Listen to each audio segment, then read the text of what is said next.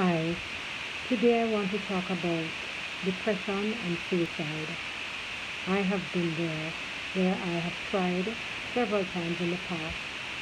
As I said, I suffered with depression from the age of 12 to 44, so I know what it is like.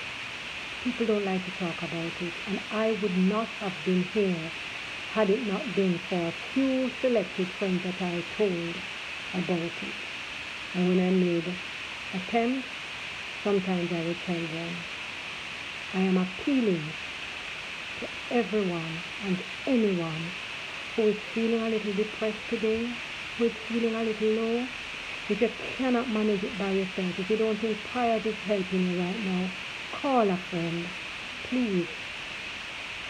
I know it is not that you want to die, you just want the pain to stop. You just want it to stop. I am appealing. I have been there. I have been there. To the point where them pump out um, the thing out of me. Because the thing that you rub on your skin for mosquito bite, I took it. And when I started vomiting flesh, I was about 21. Yeah, that's when, you know, that was one of my attempts. And I am saying to anybody who is feeling a little down, suffer with depression, share it. Just tell one somebody that you trust. Write it down. But please, I am here. I have made it to this point and I'm growing. You too can come out of it. I never thought I would ever come out of it. I never thought it would end. But it can and it will.